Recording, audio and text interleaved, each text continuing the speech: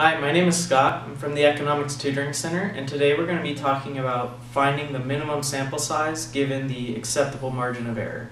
So please make sure to check my language and notation use with your professor because it may vary. Alright, so here we have an example problem, and it says, what is the required sample size to estimate the mean starting salary for new CPAs with 95% confidence? Assume a population standard deviation of 7,500 and suppose that the acceptable margin of error is 2,000.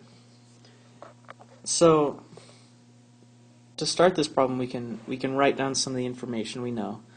So, um, tells us population standard deviation is 7,500. Um, it also tells us we have a 95% confidence here, so um, our alpha in constructing or in finding z-scores and such will be 0.05 because it's 1 minus 0.95.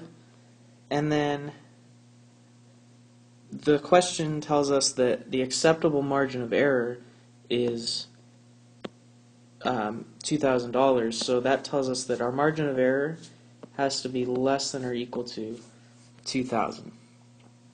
So if you recall the formula for margin of error, that is equal to our critical z-score, and we can use z here because we know it's we know the population standard deviation, so we use z rather than t. Um, and then times standard error, which is population standard deviation over square root of n, and that has to be less than or equal to 2,000. So what are we trying to solve for? Well, the question says, what is the required sample size? Um, and sample size is n in this formula. So we already have sigma, we have the population standard deviation, and we have 2,000 over here. So the only other thing we need to solve for n is this critical z-score. Um, and we know that alpha is 0.05. So if you look on a z table, and just as you normally would to find a critical z-score, you'll find that, or you can use an online calculator or something, but you'll find that that critical z-score is 1.96. And if this looks familiar, it's because it's it's always the critical z-score when you're dealing with 95% confidence um, for two tails. So now that we have we have everything we need to solve for n, so we can do that over here. So remember, we we have that our margin of error has to be less than or equal to 2,000. And these numbers were 1.96 times 7,500. We still have over square root of n, because that's what we're solving for and that's less than or equal to 2,000. now we can multiply this n, or square root of n, over to the other side. We'll get 1.96 times times 7,500 is less than or equal to 2,000 times the square root of n.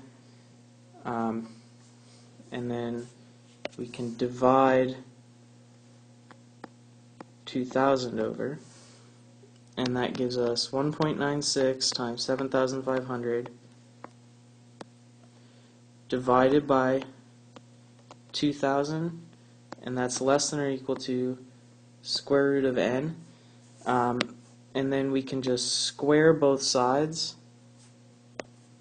So the square root of n just becomes n, and this becomes squared on the left.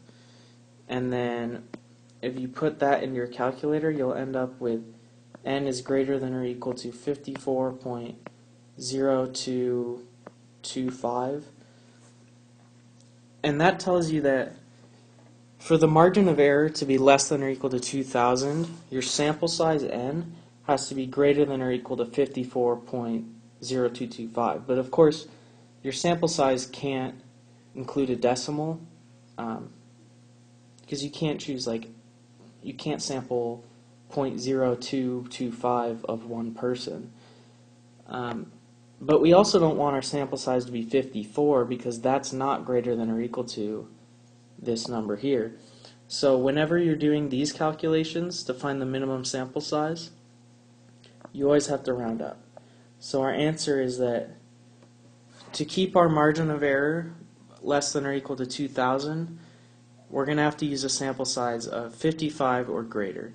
And that's how, given the margin of error, the acceptable margin of error, and population standard deviation, that's how you solve for the minimum sample size. Okay, so that's all we have today about acceptable margin of error. I hope it helped, and if you have any further questions, please feel free to come into the Economics Tutoring Center or ask your professor.